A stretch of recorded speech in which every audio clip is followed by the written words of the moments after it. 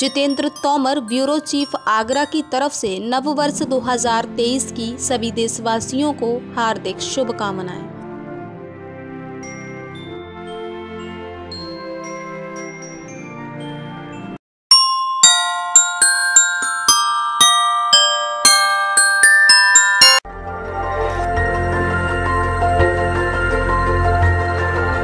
देखते रहिए डीबी भारती समाचार।